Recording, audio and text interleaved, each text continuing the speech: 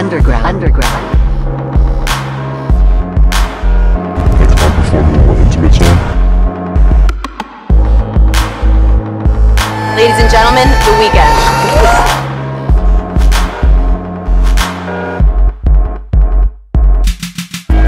Amen, Lord, fucking help us tonight.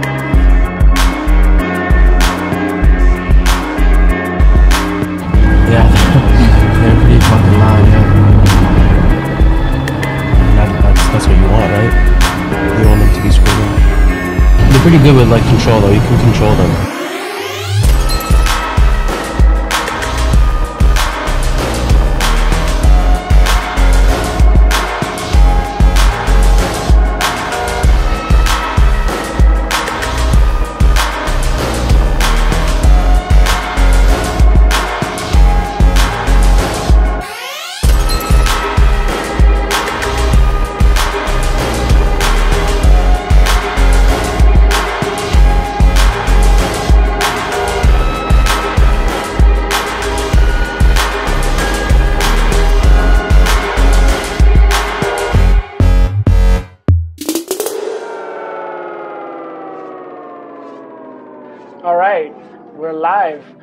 Welcome, all first and last time listeners to the Basement Podcast.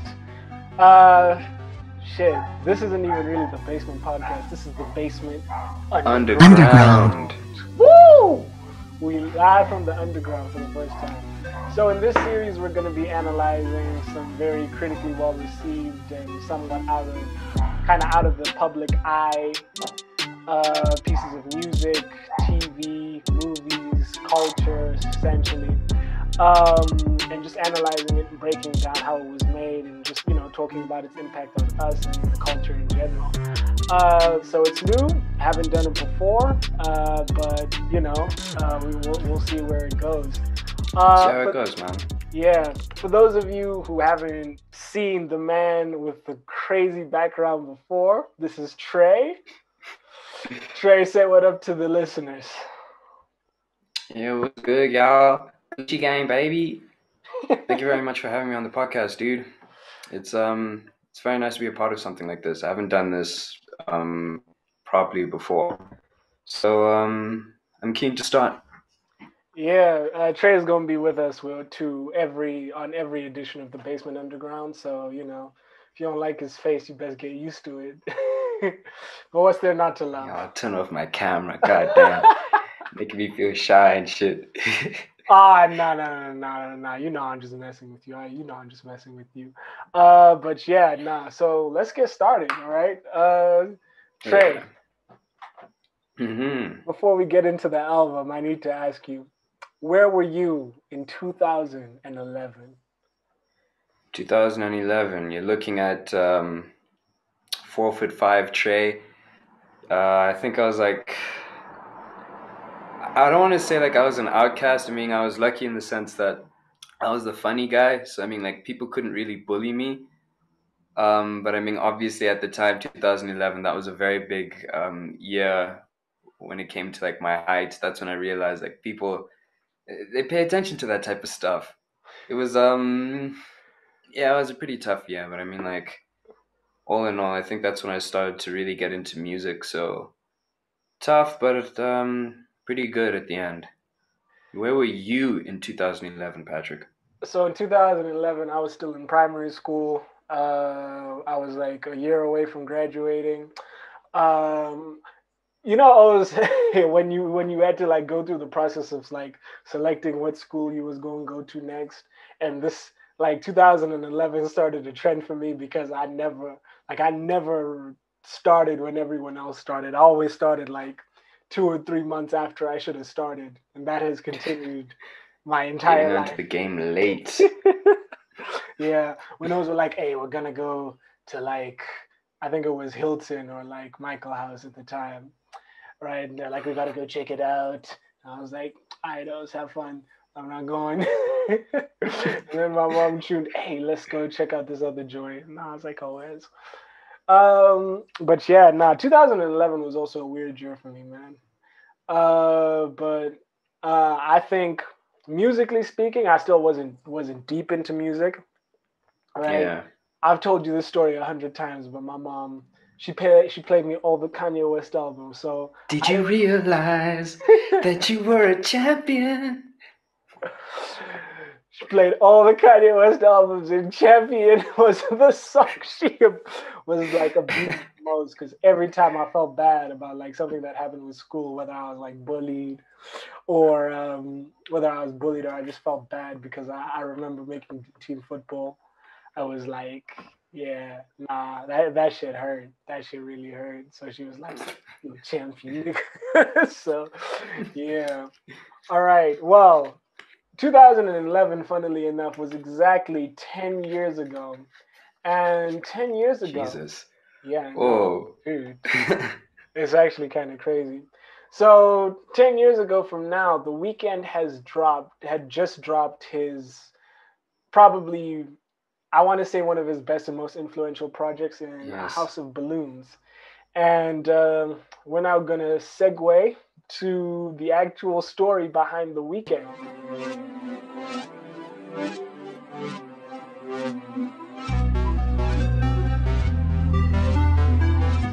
Yeah. What's the story, dude? All right, so the story behind the Weeknd. Uh, born on February 16th, 1990, in Toronto, Ontario, Abel Makkonen Tesfaye was the son of Makkonen and Samara Tesfaye, both of whom immigrated from Ethiopia to Canada in the 1980s. Tesfaye was raised in Scarborough by his grandmother after his father left their family. And when speaking specifically about his father, um, Makkonen, uh, the young Abel Tesfaye, I don't know why I'm not calling him the Weeknd just yet, uh, said I'd see him for We'll like a there. night. we'll, we'll get there slowly. It's a prog- it's a progressive thing, right? But the Weeknd's quote on his father Makkonen was, "I'd see him for like a night. I'm sure he's a great guy. I never judged him. He wasn't abusive. He wasn't an alcoholic. He wasn't an asshole. He just wasn't there." Uh, this is a quote via the Rolling Stone. Um, and describing his teenage years, he says it's a lot like the the film Kids Without AIDS. Uh, I found this I found this quote like particularly interesting. Is that like you know um, everything I think about Canada is based on like the like what they want you to see. So you know what we know about Yeah. Canada is like everyone in Canada is so nice and they're all like super you know, like everyone's nice. Justin Trudeau is a sexy O, so of course you'd want him as your They're clean minister. and pristine, man. You never hear bad stories about Canada. Yeah, they have such a great transport system. Like, you know, apparently Toronto is a smaller city than Charlotte, but they have more like public transport. So, yeah, you you, you hear a lot of great things about this. But I think uh, hearing hearing like hearing and reading these quotes, I was like, oh yeah, you know, this is this is what happens with capitalism is that it's two sides to every coin. Uh, you know, for everyone that lives dope in Canada and all of these nice neighborhoods and these pristine, crystal clear cities, pr- sorry, these pristine, clean cities, uh, there's a dark side. You know, there are people who are doing drugs, who are suffering, uh, who go through poverty just like the rest of us. And you know, I, I guess what I respect about the quote is he doesn't act like it's anything special. It's just like, yo, Yeah. shit happens. Yeah. How do you feel about it? Um, I think it's refreshing, man. I mean, it's not very often you have someone uh, with the story of like, um, my dad, my dad left when I was a kid and I had to stay with my mom. Oh man, fuck my dad. I think it's really interesting to see that there are some people, even though they are in like the vast majority, that were still able to live their life without their father figures and not have that as a bone of contention with them. Because I mean, I find that a lot of artists in today's world, like if they have the chance to talk about their childhood with their father, they're always going to be like, "Oh man, I hate that guy. He left me and my mom's." I think uh, the fact that Abel is he's able to take something that's it's pretty traumatic, but I mean, like he kind of he acts very blasé about it. I don't see that very often. I don't see that very often either. And I think like um, you know, you're right. I think like a good example is Tyler the Creator. Like You know, Easily. he like that man has expressed hatred for his dad. Oh my god. Don't even you don't I even, don't even know if I would come track. back. Like that's Yeah. murderous intent, man. exactly. Um, so another thing I find interesting is um, I never knew that the Weeknd, like you know, before this was descended from Ethiopia. Um, and Yeah. then I learned. I, I it says here that he learned Amha- Amharic. Amharic. Man, if anyone's from Ethiopia listening to this, I will I'm so try. sorry. I'm so sorry. My pronunciation is so bad. but yeah, Amharic, uh, and he spoke that with his mother and grandmother and attended Ethiopian Orthodox church services, which I find I can't even lie. That's that's a weird image. Just Very. yeah, compared to compared to like you know what the guy would go on to be and the type of music he he's literally Yeah. soon to make, right? Like coming up. He never talks about it, hey? He never talks about the fact that he's half, well, Ethiopian essentially. It never comes up. Nah, you know, and I wonder how people in Ethiopia feel about it. Any Ethiopians listening, please comment, We, write a review, tell us why. Do you do you do you feel like your man should be shouting out Ethiopia a couple more times than he should? Should he have more tours there? Does he have tours there to begin with? Right, because I know that he'll come South. He has. Did he come? Did he come to South Africa at some point? No, like the shorties this side definitely would have let me know. Oh, okay, yeah. All right, right. Maybe he just doesn't like Africa. Makes sense. Watch your words. All right. Uh, yeah. So he's so in terms of uh, so in terms of the Weeknd's childhood, uh, it's very very important to uh, just discuss the drug abuse because it becomes a very core theme in his music. So according to uh, according to the research that I've done, he states that he began smoking marijuana at the age of 11 and then quickly move on moved on to harder drugs. Um, he claims he shoplifted supplements such as ecstasy, oxycodone, Xanax, cocaine, and ketamine, which I think is hectic as hell. Um, Yeah. Jeez, dude. Like, GTA lifestyle before 15, man. Hectic. there's a story I would like to share with the audience, um, just just to prove how soft I was at the time. Uh, but there was a time where me and Tré were roommates at boarding school, and um, I was very, very like anti-drugs, man, like super, Mm. super Mm. anti-drugs. Um, and I remember uh, Tré brought up wanting to go and do some shisha at some point. we were young. we were young, so I was very we were young. I was trying to experiment, and then I, I was probably not even older. I was probably older than the Weeknd at that point. I was like, what, 15? Yeah. Yeah, about about. Yeah, around there. hmm Yeah, and I remember you said you wanted to do shisha, and I swear I pulled out the book, and I was like, "Bruh, do you know shisha causes cancer? I Mm. want to lose you. Don't go down this path. This is a gateway trade." we had a whole like I had a whole fight with my man, dog. I was like, I was genuinely scared Yeah. of losing him because I was like, he's gonna start on this shisha, and then it's gonna be it's gonna be downhill from there. And then, But you weren't wrong. you weren't wrong. either way, either way, either way. Eh, relative to that, I was like, like reading about that now. I'm like, man, why was I bitching? There's so much worse shit that you could be doing than like, yeah, than shisha. Yeah. But yeah, I guess that's just a part of that's just a part of growing up. Sometimes that you you don't know about certain things to the fullest extent. And, yeah, Just probably should have done better Finding research. yourself. yeah, I should have done better research on shisha because clearly the page I went to was just trying to confirm. It was just me trying to confirm my my suspicions on some man. Tré did shisha, he gonna die. But yeah, no. So, he was clearly he was he was clearly into drugs very very early on, right? We're talking a man who's not even The- of age, Oh, shoplifting. the Weeknd. Yeah. Oh, I bet you're trying to at me right now. no, no, not you, not you. The Weeknd. All right, thank the you Weeknd. very much. Yes. Right. So, yeah, um, any man shoplifting, sup- shoplifting supplements like ecstasy from a store before the age of 18 is like, he's into that shit. Um, so interesting. So I I, I want to say unsurprisingly, but I mean I feel like if you if you were druggy, you probably can still graduate high school. Uh, but the Weeknd did not graduate high school and left altogether in the year 2007, um, and also left home and at some point decided to start living, just lived out on the street, um, and then eventually even moved town completely to the Parkdale neighborhood of Toronto. So yeah, story behind the Weeknd. To start off with, he was in a very very dark place, and that It's a really ballsy move to do, man. Like to really believe yourself that much that you're willing to become homeless before you make it. Oh, he was dedicated, bro. He was dedicated to the cause. yeah. Uh, yeah. So and just essentially was looking for a way to start making music.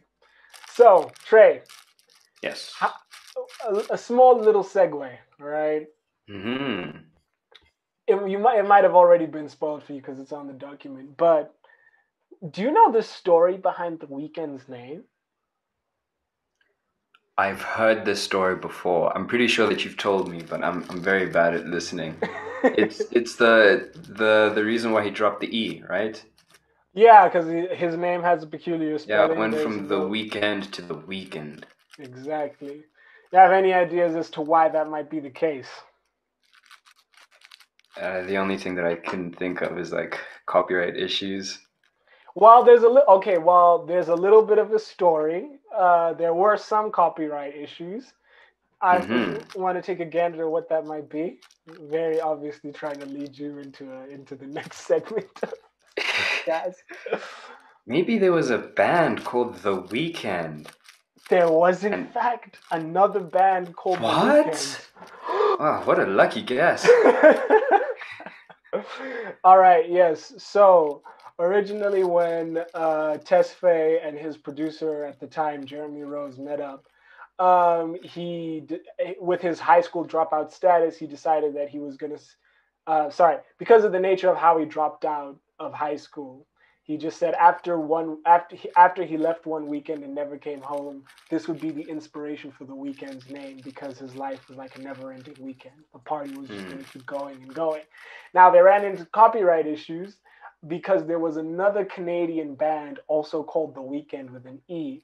So in order to deal with the copyright, they just dropped the E and he became The Weeknd. Fun little nugget of information for you. So this Jeremy Rose guy seems very influential, um, just because of Yeah. yeah, just just just because of how he was involved in the creation behind the name. So Tré, I'm going to tell you a little bit of some. I'm going to tell you a little something about Jeremy Rose. Please do. All right, so some things that you know about Jeremy Rose. Initially a retail clerk um, in the in the in the United States, he eventually decided to move up north to Canada to follow what to follow. Um, I want to say his dream, but more or less like his his desire Next to make a his Yeah, desire his desire. his his but essentially just to follow his desire to make music with you know new artists so he initially had had an idea for a dark r&b album uh, musical project and although he was looking at other musical artists at the time right uh, initially trying to pitch the idea to a musician by the name of curtis santiago but obviously never really panned out um, he approached Tesfaye in 2010 um, and pitched the idea to him. Rose played one of his instrumentals, and Tesfaye freestyled, freestyle rapped over it. So initially, not even yes, the Weeknd was at Oh, first okay. yes was more a rapper than a singer in the initial kind of um, in the initial I don't know in the initial kind of yeah in the initial conception of his artistry and his work um, and it led to them collaborating on the album. Now, it's interesting to note that Rose produced three songs, all of which were automatic, dare I say, instant hits. All right, uh, the three songs Yeah, of the two. it's made his career. Yeah, These were like shortcuts. These four, or was it three? Four. it was three. It was. It, I think it was. It was Yeah. three that we know of, and then I think he gave him. I think four stems in total. So Mm. they produced three songs together. The three of them were "What You Need," "Loft Music," and "The Morning," all of which would become sort of instantaneous underground hits. Um, and others which Tesfaye had rapped on, which were ultimately scrapped altogether. Uh, Rose let Tesfaye keep the tracks, and he produced them under condition that he would ultimately credit him for them. However, things kind of got a little shaky from that point on. All right. So Tré, I just want to ask you first and foremost. Yes. Um, I, don't think you heard the Weeknd in 2011 when these songs were dropping, right? uh, so- no. Yeah, I don't know who Way was too that innocent song. for that. Yeah, no, no, no. I was way too innocent for that too. All right, like I mean, at 15, I was thinking that shisha was fucking cocaine and heroin. So I wasn't. I, I was. I was kind of like unaware of that shit as well. So when did you first hear the Weeknd? Um, I think it was probably around 2012, 2013.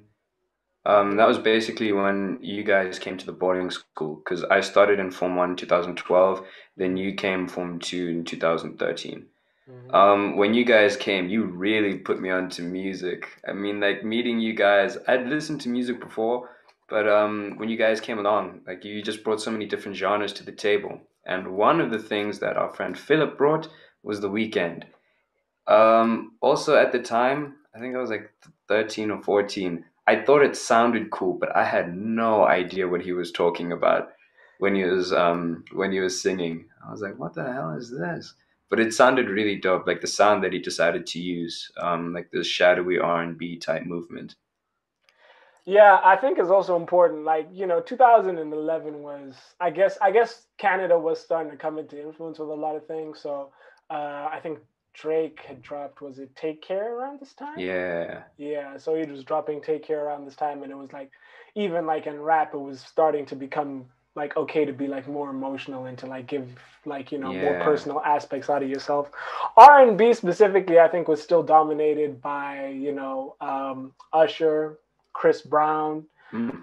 um, you know, a lot of guys who uh, kind of like enforce the R and B stereotype of these, you know, have it all dudes, like women coming off like, you know, like women and lovers coming off like um conveyor belt. Like, you know, it's just endless.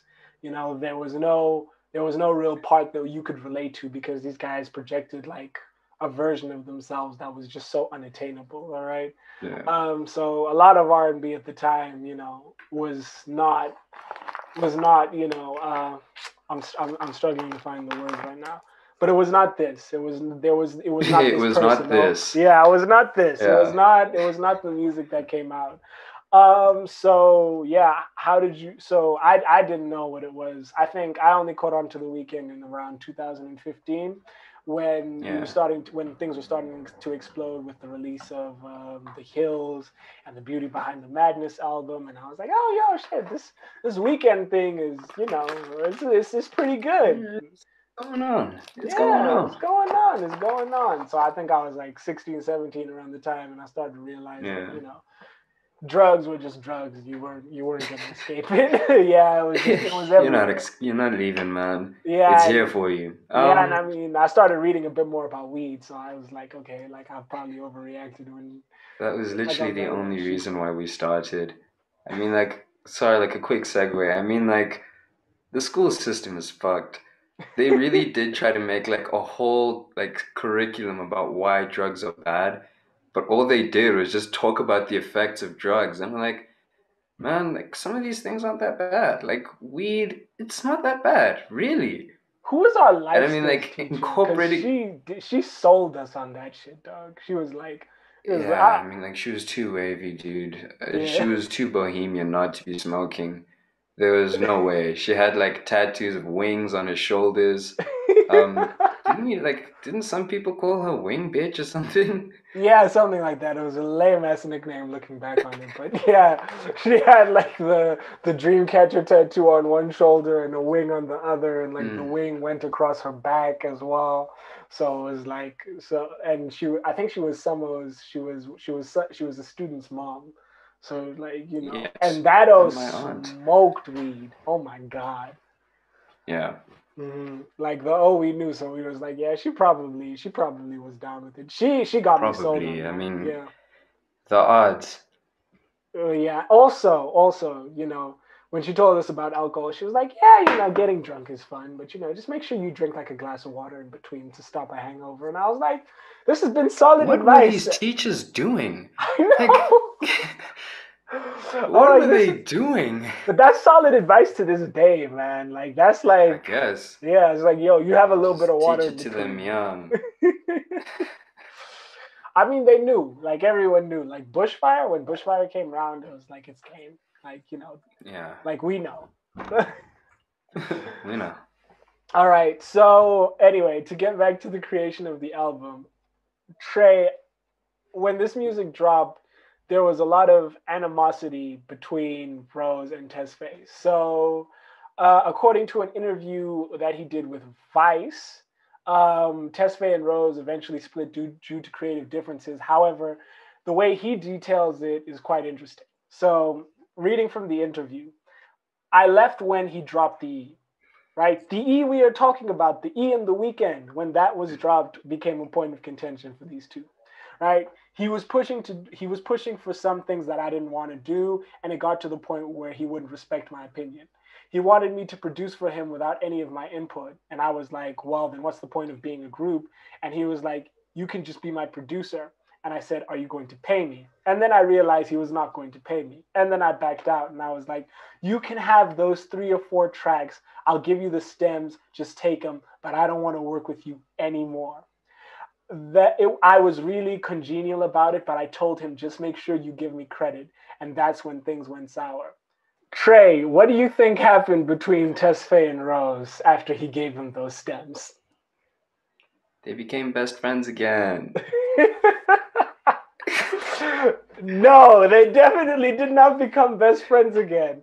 Um, Ah, damn. Didn't see that coming. So, although Rose was initially credited by a lot of the underground bloggers who heard this music when it was initially dropped, so the original versions of all of the songs we previously mentioned, um, when this music was originally dropped, he was credited and known about. But as soon as he was given, as soon as the stems were passed on um, to Tesfaye permanently, and he started working with other producers. For instance, he got a co-sign with Drake by the time by that time, um, he, and Noah Forty Should Shebib started working and producing a lot of this stuff.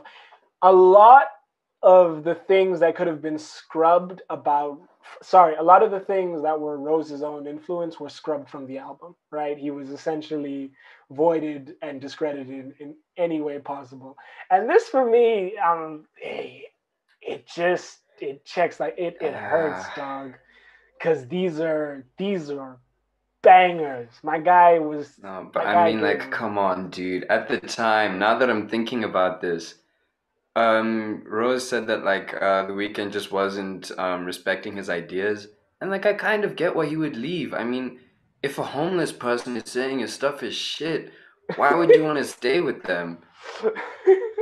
I mean, we also got to consider that maybe he thought it wasn't going to blow up.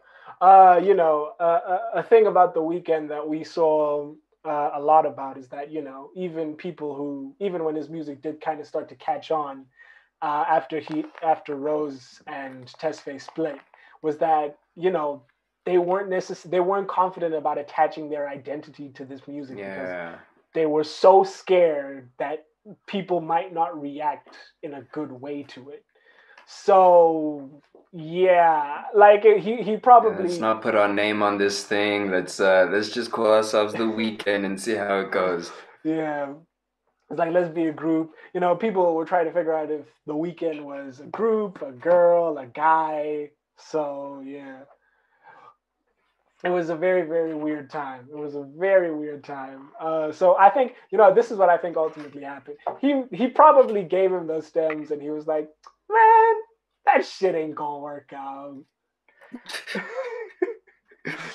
you probably bet that Yeah, I don't really see that popping anytime soon. hmm Yeah, but alas, he was very, very wrong. You know, the Weeknd has just done a show at the Super Bowl, probably one of like the biggest events. Yeah, he's the You know. biggest artist in the world right now. Yeah, undoubtedly, and you know, is like considering I, I have to say his public persona has leaps and bounds from being like unwilling to put your name and your identity to your music to Yeah. performing at a Super Bowl and yeah, no, that's uh, it's impressive. It's impressive. So he as as as much as as much as we we we got to talk about the O in regards to to how he helped you know kind of develop this guy. He he he, he bet against the wrong horse because the guy went all the way to the top.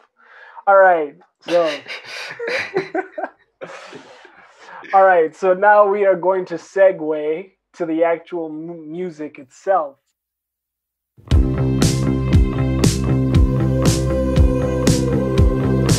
There are a number of samples in this album. Um, all right, um, there, so, and we're gonna just talk about these songs individually. And It's a uh, lot of wait- beach house, man. yeah. There is a lot of beach house in this tape. there is a lot of beach house in this tape. It's almost like Rose didn't completely produce the music by himself. Um, Almost, man. For a while, I thought that beach house was plugging this guy.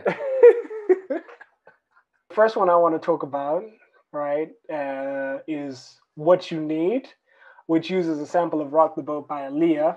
So Tré, I would like to ask you about this song, right? What do you, how do you feel when you listen to this?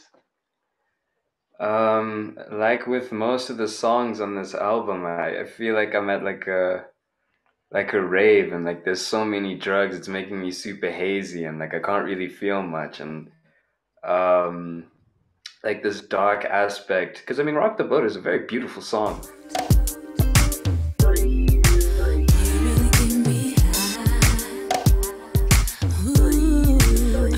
I mean honestly, like I could play that in front of my grandmother, but I mean the Weeknd's type of stuff that's it's something that I'd keep to myself, man, especially something like this. It's so sexually charged, more so than Aaliyah intended.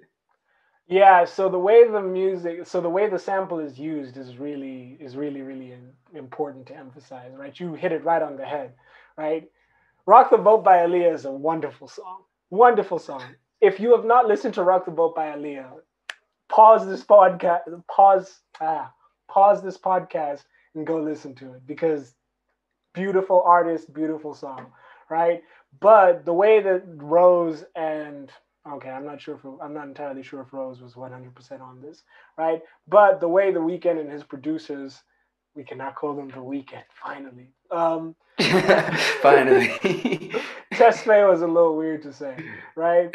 Um, but the way, but the way that the sample was used was that they slowed and chopped the sample and added like a real tone of menace to it, right? So when you hear the lyric, you know, "I'm what you need, what you need," it's not about, you know, it's not about like want or like joy. It's about you know, getting the next kind of hit of adrenaline from that from like you know whatever it was he was on sex drugs right so you know very very dark very very like you know i don't even know grimy grimy stuff right it was you know it's like we're really at the bottom here right um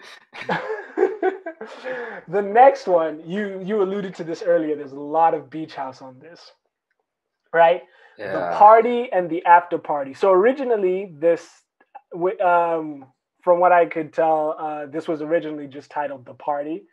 The after party, like the normal after party, was added later, and it uses the sample "Master of None" by Beach House.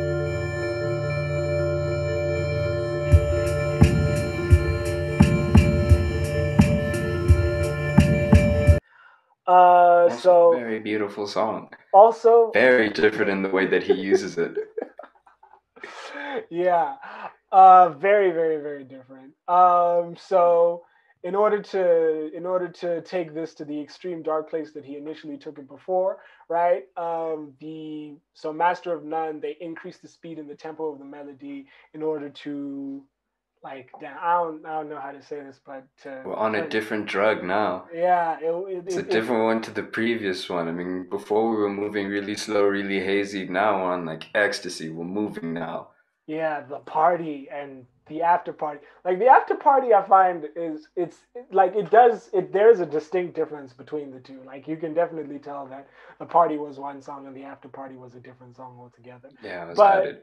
It it does maintain like that kind of. You do feel that sense of like you were just you just had an epic drug rush and then the after party is like it's somewhat it's still like the same type of energy but the hype is still there like that energy like it's died down a little you're coming off like the, the, the what, what what we are going to say are the drugs and you but you're coming off it but you're still there like the the energy is maintained right so that is that is a song in itself very very like powerful right um Yeah.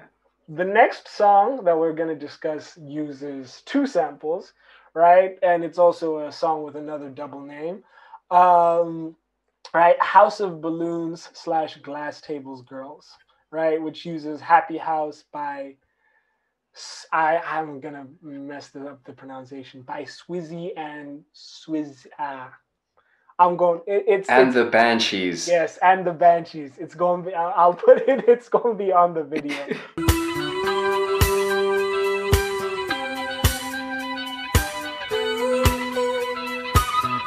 For those of you who could laugh at my terrible pronunciation, right? And uh, Drop It Like It's Hot by Snoop Dogg featuring Pharrell Williams. I'm a nice dude with some nice dreams. See these ice cubes, see these ice creams. Eligible bachelor. Right? Yeah. So, Tré, how do you feel listening to this song? Right? Uh, obviously, we've explored the, the drug elements about it, but House of Balloons is is something different altogether. I This- think it's. I it's- think this is the thing that really got me onto the Weeknd at the time. I mean, I'd heard um, artists. I think this is before I even listened to Yeezus at the time. This is the first time I personally heard an artist have a song and then completely change it afterwards. I mean, these two, it's like day and night, man. I think um, the tension between these two songs, it's insane. I think uh, the way that he used both of these samples, I mean, the melody, oh, masterpiece, man. That was masterful work. Yes. Uh, I I really loved. Uh, okay, so obviously what they did with um, was that they reused the hook and echo of Happy House, um, and slowed down the melody once again to add menace. Uh, I- but my favorite part of it is where he repeats Pharrell's iconic lines from "Drop It Like It's Hot," where you know, because because it's just like the he adds like the the the dual meaning to it because Pharrell's William is I'm a nice dude with some nice dreams, right? And then the Weeknd is also I'm a nice dude with some nice dreams. But I think I'm trying to remember what the lyric is. I'm gonna go I'm gonna go look it up right now. I should have done this in research. I'm sorry, my bad, my bad. Right. but uh but that is that switch is that that switch between the two songs, you're right, is very, very, very night and day. Right? Like as soon as Glass Table Girls comes on, you also just it's not that it's less menacing. Moving on a different drug now. Yeah, it's it's a different drug altogether. It's like the variation continues, right? Uh, I think I think I think I found it right. Uh, it's I'm a nice dude with some nice dreams, but we could turn this into a very uh, but we could turn this into a nightmare Elm Street, right? That shit is like you know that's not that's not what Pharrell was talking about. He was saying I'm a At nice all. dude. yeah. It was like I'm a nice dude with you know some nice like you know jewelry and chains and all of that shit, right? Uh, let me show you a good time. He's like, yo, let's turn this into a nightmare. let's go to Elm Street. Oh, jeez, my God, that that shit is that shit is crazy. All right, hopefully we don't. Um, hopefully we don't uh, end up we don't end up repeating too much. There's definitely a methodology to the to the way all of this was done, right? So Loft Music is the next song we want to talk about, uh, which sampled Gila by Beach House.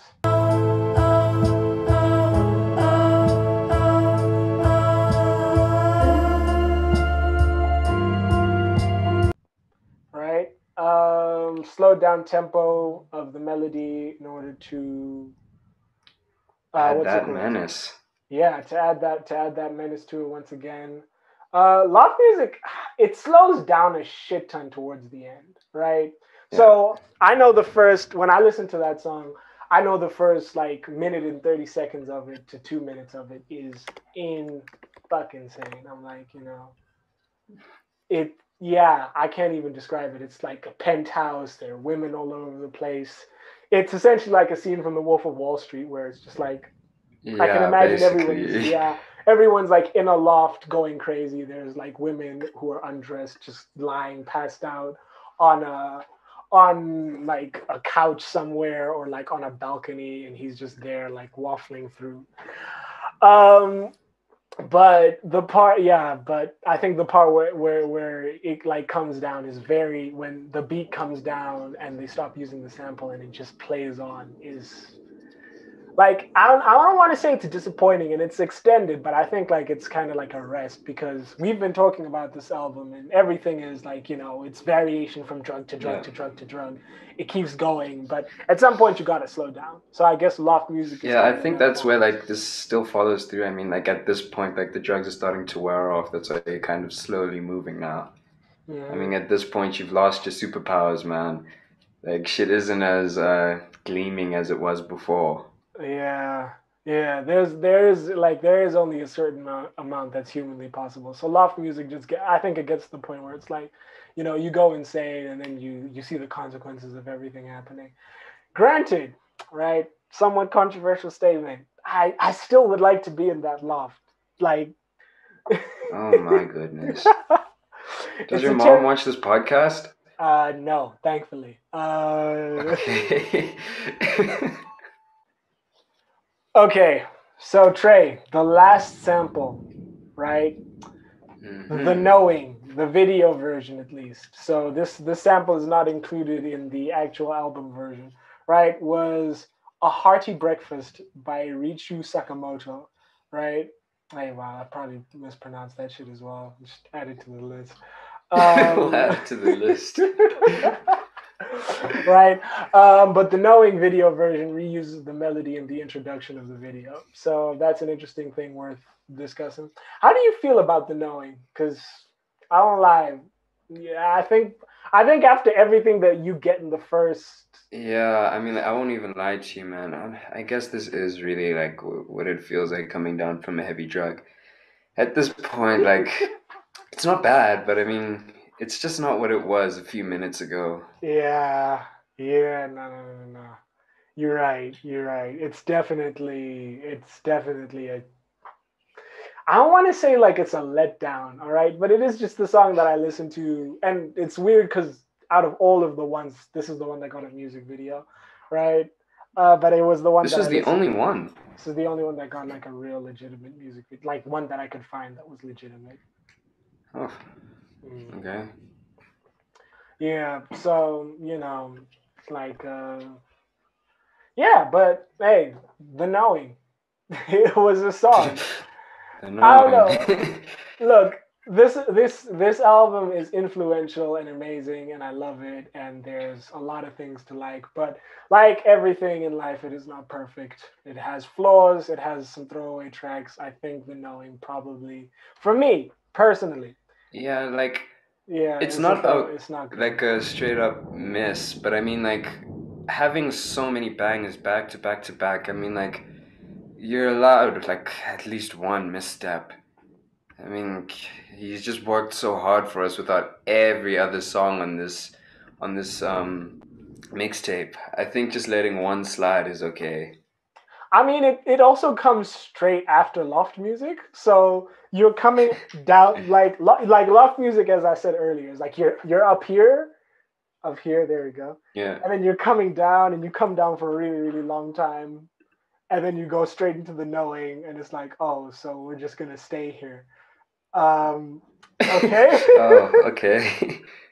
this is not great. Um, but yeah. Don't you find it so weird how um, two songs prior to this, we have something beautiful, something sexy, something dark, something like edgy, and that song was called Coming Down. And then we have the knowing after that. Ah, ah. I mean, hey, bro. Okay, wait. Just let me quickly correct you. It's coming down loft music and the knowing. yes, and then the knowing, yeah. Yeah.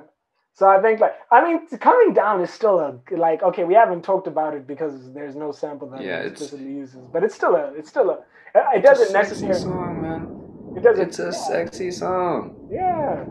It doesn't feel like you're coming down. It feels like okay we're like slowing down to read Yeah, and then as I said the beginning we're about to re-up, man. yeah. The beginning of loft music does that and then you're like okay i can't maintain this. And then like you know the the end of the the end of loft music and the knowing and i guess 28 they're all like it's it's very very shaky but everything leading up is it's excellent right?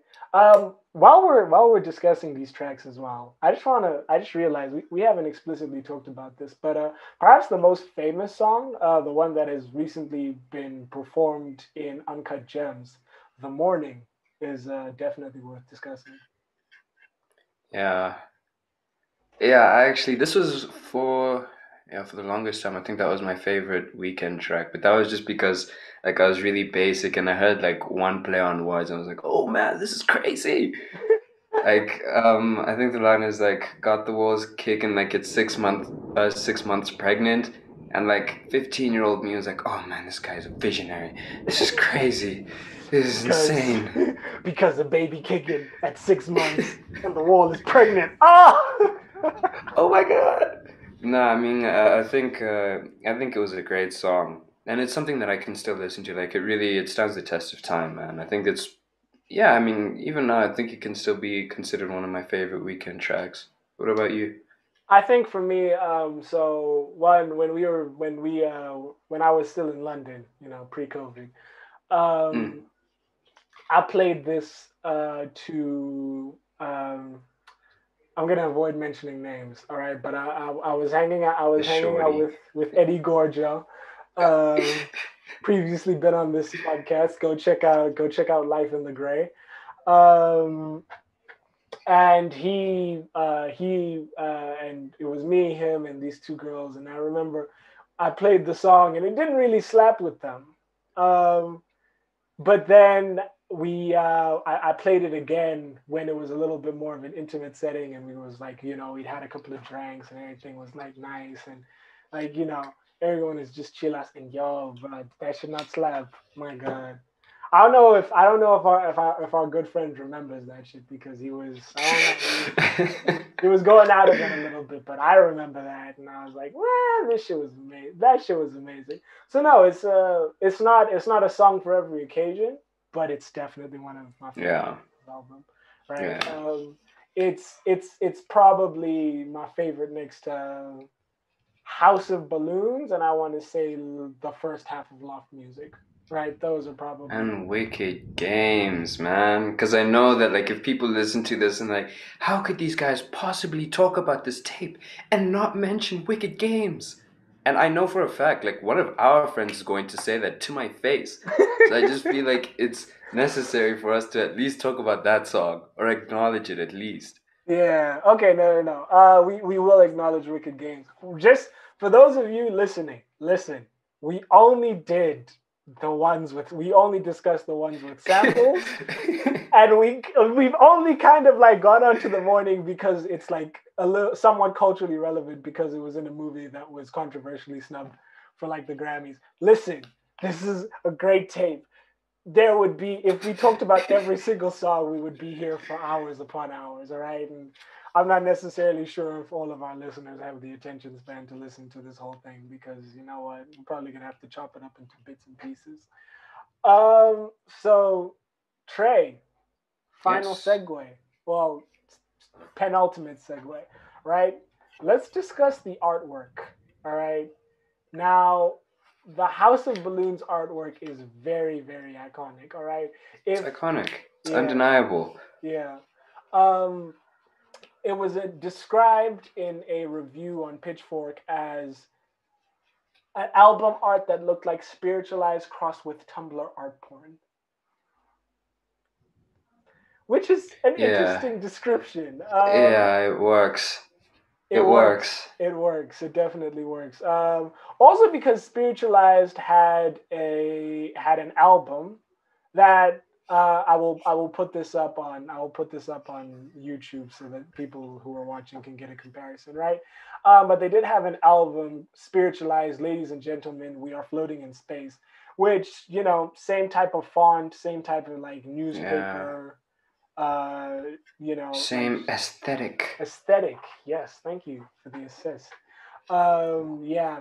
Um, so the aesthetic was very, very similar. I think that newspaper aesthetic really sounds like really like draws your attention to it because Yeah. it's the Weeknd. It's like a newspaper reporting on the weekend. Like that's what I thought the first Yeah. time I saw this album art. I was like, oh, what's going on this weekend, guys? oh. It's like, why is that lady passed out in a bathtub full of balloons? um, I don't nec- I haven't I haven't necessarily found anything about the um, actual artwork itself. Um, you know, there's no story woman is. behind it, but there is there. The, um, but the Weeknd did admit in an interview that, that that a house of that the House of Balloons is an actual place in Canada. So I have a sneaky feeling that maybe the house was just filled with balloons and there was a lady passed out and he took a photo. He took was a like- picture of her.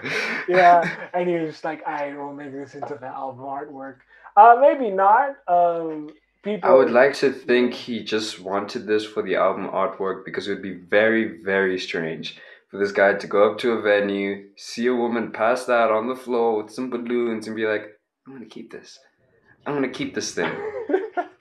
I mean, if the House of Balloons is a real place, I feel like he was there often enough where people were like, "Oh yeah, sure, it's just Abel. Let him take some photos, like whatever. He'll use it for his album. Like who knows? Maybe you'll get really famous from it." uh, but yeah, uh, so some things I like to point out. So uh, elements of this, um, elements of the album artwork were obviously censored, um, obviously due to, I- I mean, very graphic nudity. Although we never see the woman's face, uh, there is a little nipple slip. Uh, you know, I guess we can, yeah, a little nipple slip that that had to be covered up on tape uh, in terms of its official release. But if you look up, um, if you look up any of the just type in House of Balloons and it's there. uh, it's there. If you're really that thirsty to see it, you could just type it on Google. yeah um i think it's the, the the balloons the balloons are very very eye-catching because like i mean they are they are like covering up what we see but i've never Mm. been able to figure out what the significance of the balloons it actually like is right? Because my idea is that like you know um it's a house full of balloons. Anything is like due to pop at any given second Yeah. um you know and like i guess the balloons also like protect like you know i guess it's like it's talking about like very fragile people so at any given point like you know you're in a house full of balloons so like at any point anyone could pop and things explode and we make a lot of noise right um but i can never i Say can never like it's such a throwaway comment. I mean, that's really deep. That's really well thought out. I mean, it's the only thing I can think. It's the only thing I can think of as to why. I, I like. I understand. Maybe it's called the House of Balloons because it's like a party. It's a party all the time, right? So the house is full of balloons to show that. But yeah, no, it's it's it's it's very it's it's very very tricky. I I couldn't find anything about it. Um, but yeah, Tré, this album art is very very easy to replicate. So much so that it has been replicated by dudes online multiple times, right? So Starboy uh, people made replicas of this kind of format. What Oh, about yeah, it yeah, makes it yeah. yeah, what about it makes it so extremely extremely effective in catching the eye despite very simplistic design? I think it's just very jarring, man. I mean, this isn't something, especially at the time, this isn't something that you saw very often, especially with like an R and B album or mixtape or something. You never saw an album cover like this, ever. And I mean, the fact that he managed to um, maintain this kind of um, this art direction throughout everything that he did, you can see that what he did here, because he found it so not just effective, but I mean the fact that he could understand why so many people would be drawn to this. It's very like it's obvious why he'd want to like continue this motif throughout um, the the trilogy of his mixtapes. And I mean, like when you look at this thing, it's like to come in as an art, as an artist, um, like the, the tension between. Yeah, you know what it is, man. The tension between the different sides of the the frame. It's like because the blacks are so stark, and then the whites are just so exposed, and then there's one figure down there at the bottom. Like your eye is looking around this whole thing, and because um some things are very dark and some things are very white, when you go down to the bottom, like when your eyes travel down there, you're like, damn, that's a woman that is passed out. I wonder what's happening with this album. Mm-hmm. Mm-hmm. No, it definitely, it definitely does draw draw your attention, right? So, uh, I just want to ask: Is this the most effective version of this art? Because we obviously see it in Thursday and Echoes of Silence, um, but I just want to know: Does because okay, Thursday obviously has a lot more color involved, um, even Yeah. though you know it's showing Wednesday, Thursday, Friday, uh, the lady who's there. Um, Mhm. And then Echoes of Silence has color, um, but I don't think it it does what this does. All right, because the black and white of it is just so. It just I don't know how. of the project. Yeah, it's reflective of the project. Like, oh my god. Um, so obviously we have a lot of accompany, uh, a lot of additional accompanying artwork. Um, this is all stuff that's found for the songs on YouTube. Um, so we've got artwork one, which is uh, a picture of a woman's legs next to a lamp in a what looks like a hotel room.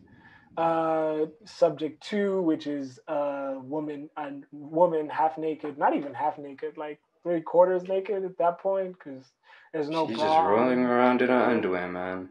Yeah, no bra, just running around in her underwear. Well, she's not running around in this photo, but she's just, you know, Too high to do that.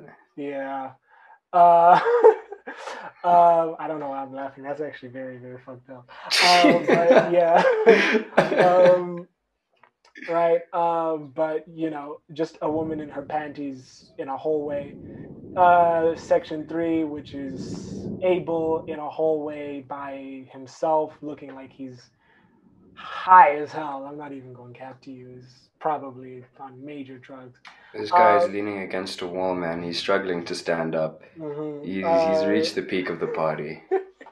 I think this is when this is this is probably when coming down. This is the photo that he took after making coming down. He was like, okay, we're good. Ah, let's let's let's go to the next item. It's like, okay, I'm looking I'm looking to get to the next thing. Uh, we've got a fourth piece of artwork, which is a pair of heels, an overexposed flash, and a pile of balloons, emphasizing the balloon theme. Uh, number five, which is Abel once again on a wall, probably high as hell as well. Um, there's number six, which is a woman with a jean jacket on, looking like she's stripping. There's definitely no bra present here. Or maybe I'm just not a keen enough eye and there is a bra, but who knows? Right.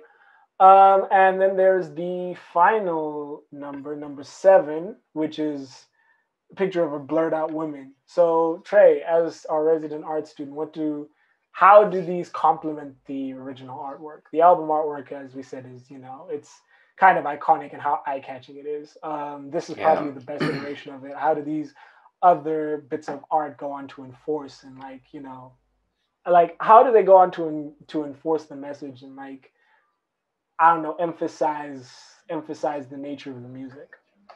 Well, I think clearly, just based on like when you link all these pictures together, I think this has to have been um, this had to have been one photographer because when you look at the his use of black and white and his flash, it's okay. If you look at like image number three, the Mhm. contrast between Abel being like super like he's covered in um in darkness, like he's shrouded in darkness. There's a little bit of light on his face, but then everything around him like it's blown out, it's exposed Mm-hmm. it's like when you have images like that taken in such a I don't want to say like intimate moment, but I mean that's not necessarily something that um, that you want to recapture or capture for the rest of your life. I mean, these are moments uh, when you're a bit too high to be present. Um, and I mean, like when he takes these pictures of these girls, I mean, that it's never usually like um like a full I don't want to say portrait, but most of the time when these images are taken, they're um, they amputate these women at very awkward places. Like normally, if you're going to take a picture of someone, you could either do it from the neck uh, to the hip, to the knees, to the ankles, or just like the feet. But here, I mean, they're cutting them in the middle of their thighs, in the middle of their backs, um, just above well. their angles. Yeah, I mean, um, all these images. I mean, also the filters that he uses, like this whole hazy thing. I don't want to make it seem like I do drugs a lot, but what I can say is that this is very. um, Don't tell on yourself. uh, uh, Mom, I'm sorry. Uh, it's uh, it's very visceral photography. Like um, it's a very unique way of capturing moments at a party. I mean, no one is smiling here. There's usually only one person in the frame, and it's very rare that you see their face. Yeah, Abel is the only person whose face. I mean, not you can definitively make it out in five. Also, while Yeah. we're on the topic of five, my guy really needed a brush. Holy shit, guys, Yeah. help your man out. It's like, too high, man. Nah, He's but- too high. Like even like he could have like he could have done that before he got to the party. I scheme. He could have just been like, "Yo, can, can I get home?" but hey, you know what? Maybe he was homeless at this time, so you know. Yeah, living in parks, man. Yeah. What are you gonna do? Oh, what are you gonna do, really? What are you really gonna do? Um, but yeah, no, you you barely can make out anyone's face. Uh, I- obviously, I think that's intended. I don't think any of the women who are in these want to, you know, be identified directly. And you know, we're not trying to say anything about them, like live it, like you know, we're not trying to pass judgments on how they live their life. Uh, but it definitely is not it's not something that you want to it's not something that i think any like these might be listen these might be very respectable working women with why with like husbands and children or wives who knows like maybe some of them turned left all right um we honestly don't know anything about them but like you know the way that they're framed in all of these is very very explicit. And even if you are like the most respectable of human beings right? I'm not sure a porn star would be comfortable being framed like this right? Because Yeah, it's it's uh, you know it's it's not just not very flattering. yeah it's not flattering. Like at least i guess uh, i guess if we're talking about the way things are framed in pornography is that it's erotic right this is not necessarily erotic. I don't look at this and think i want to get turned on. I look at this and i think wow people are on shit.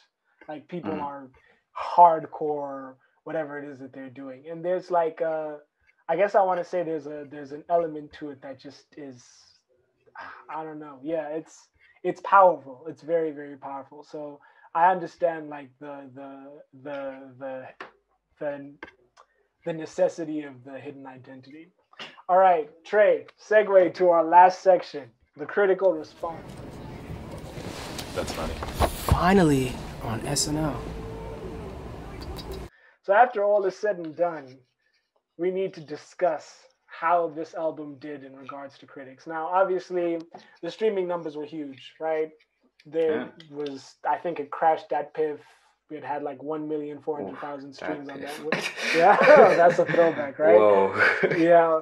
Um, but it had like a million. It had a million and like a million and a half streams, and it crashed the website. And it was like obviously the streets loved it. All right, like let's let's not even talk about it. But the critical reception I find is important because just because you know, like shit, I guess people like DJ Khaled, and I think DJ Khaled is a terrible artist.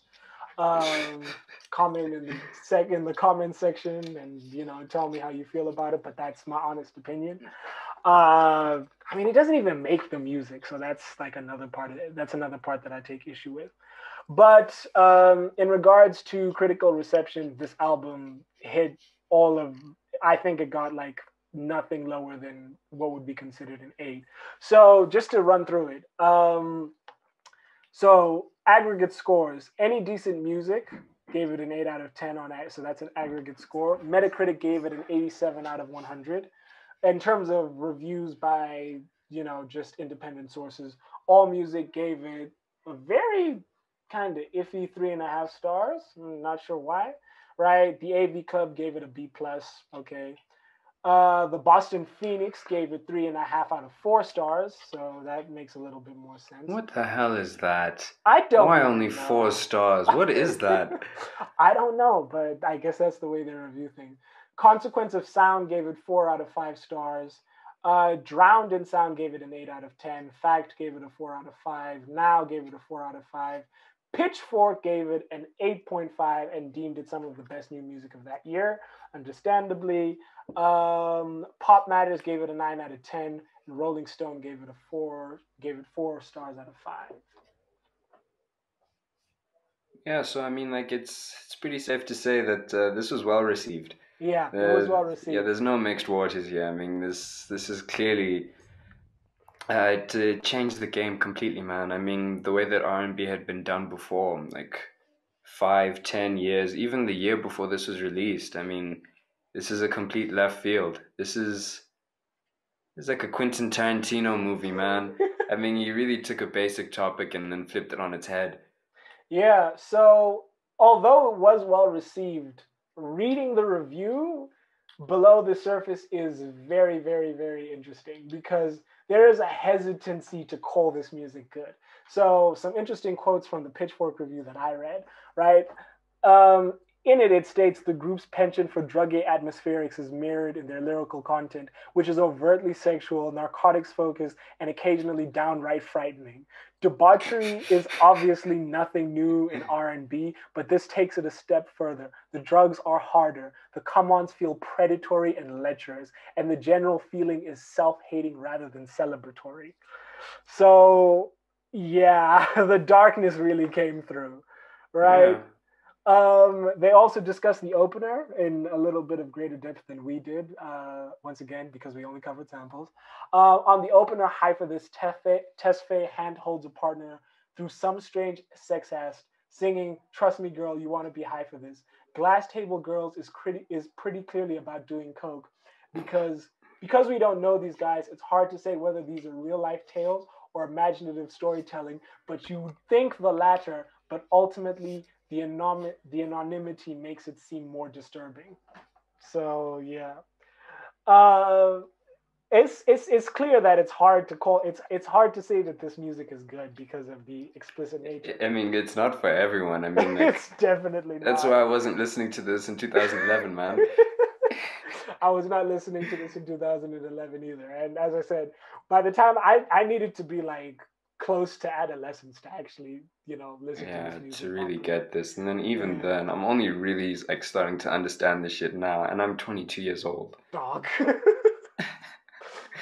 like I, I hear some of the stuff now, like in in prepping for this podcast and re-listening to it, I was like, oh, oh, I, I didn't catch that the first time I listened to that. Ooh.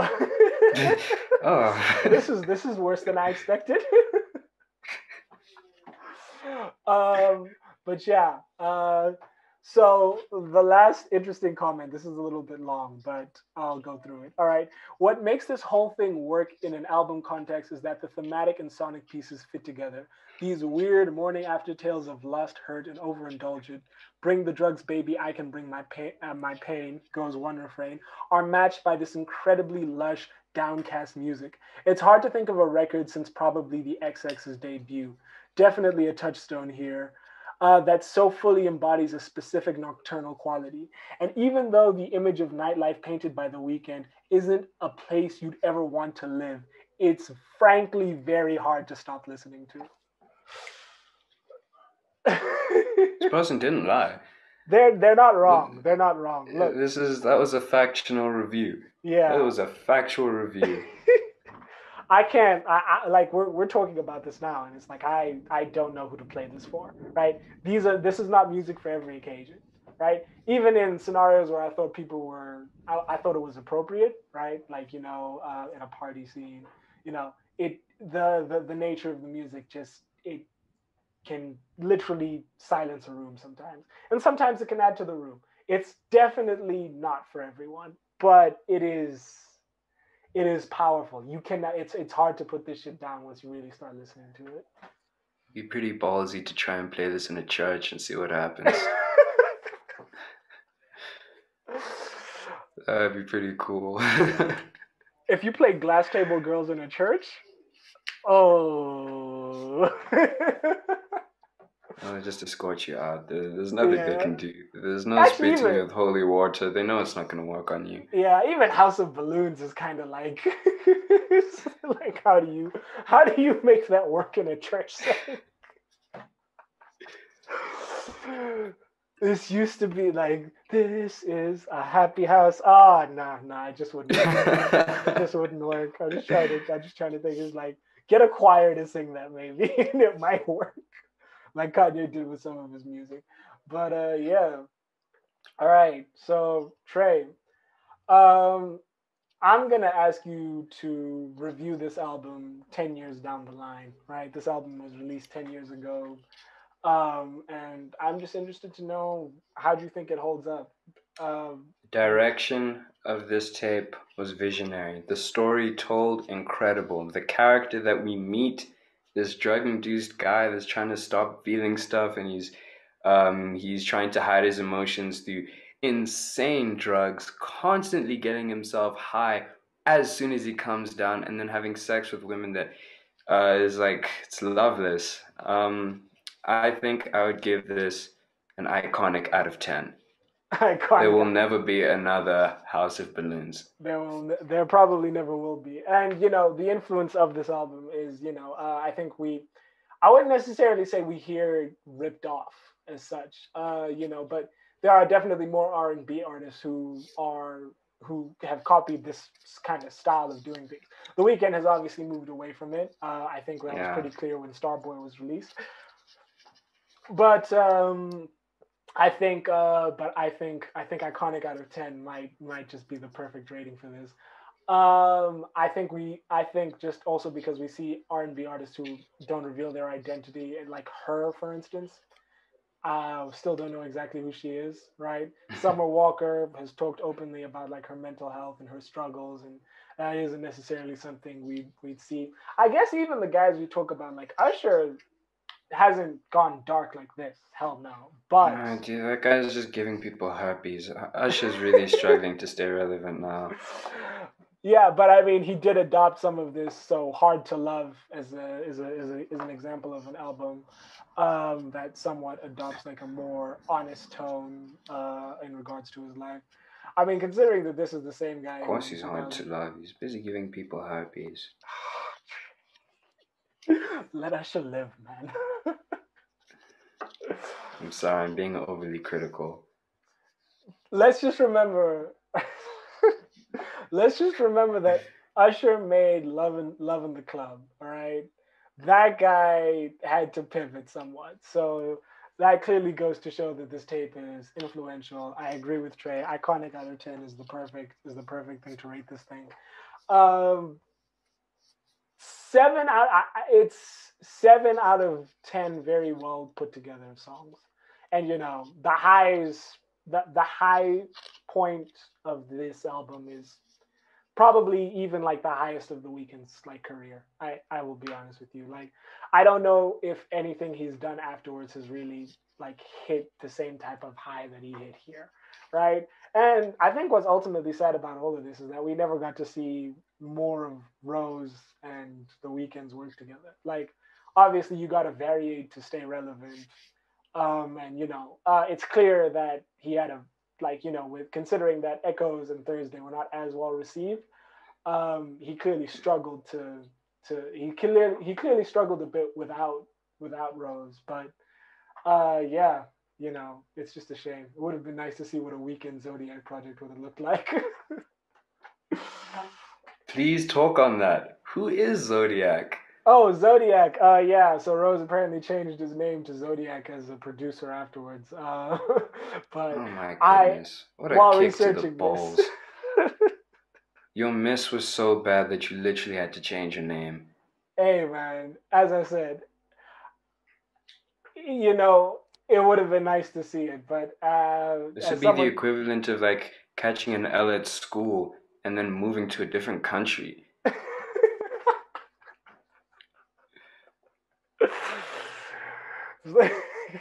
Uh, it's tough, man. it's tough. Uh, I I, it's I tough. I truly feel bad for Rose and all of this because yeah, just missed opportunity, man. Missed missed opportunity. He really could have been the forty to to to to the Weeknd's Drake, but it didn't work out that way. Anyway, Thankfully so. I mean, like, if he did stay with him, we probably wouldn't have gotten Kissland. oh Because yeah, Kissland is basically like, um, it's not even. I was gonna say that it was like the love child of this and the previous stuff, which I mean, to a certain extent it is, but the drugs he's doing there, it's not as hard. This is problematic. This is. Yeah, this is- If the Weeknd was my friend, I'd be worried for him. if if I heard this music the first time, I would probably be like, "Dude, are you okay?" Like seriously, like I'd be like, "Yo, Pat, come into the studio," and then I play you the stuff. Like I'd play you, um, "High" for this, and you'd be like, "Did you write this?" I'm like, "Yeah, man, I did." Bro, you got Are you problems. okay? Jesus. but yeah, all in all, uh, iconic out of ten. Iconic. All right, Tré, we have reached the end of this episode. Uh, first episode of the Basement Underground. We have done it. Finally, thank you very much for having me here. What are Hey, we doing the next one? Yeah. Uh, so for the listeners, we are not sure when the next Basement Underground podcast is coming. Uh, it's probably going to be more of the same next week with Gabriella and Bianca. But, but, but, Ten thousand likes, and we'll make a whole album for you guys. exactly. We'll make a house of balloons for you guys. We'll Ten likes. We'll, we'll get coked up and just go crazy. We'll do it for you. exactly. We'll do it for you. Exactly. 10,000 likes only. So, yeah. Um, but yeah, uh, otherwise, what are we doing next on the Basement Underground? Do You want to preview it or should we keep them guessing? Find out next time on Dragon Ball Z. All right. Well, I guess that's it. Uh, Tré, thank you. This has been the Thank basement. you very much, man. Oh shit! You cut me off on my outro. Hold on. Yes, Oh, okay, yeah, you can do your thing. I'm going to do my thing. All right. Yeah. This has been the Yeah, thank you so much, Oh man. fuck you.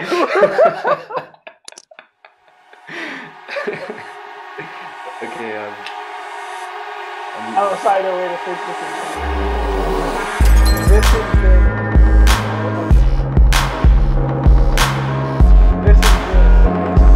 Underground.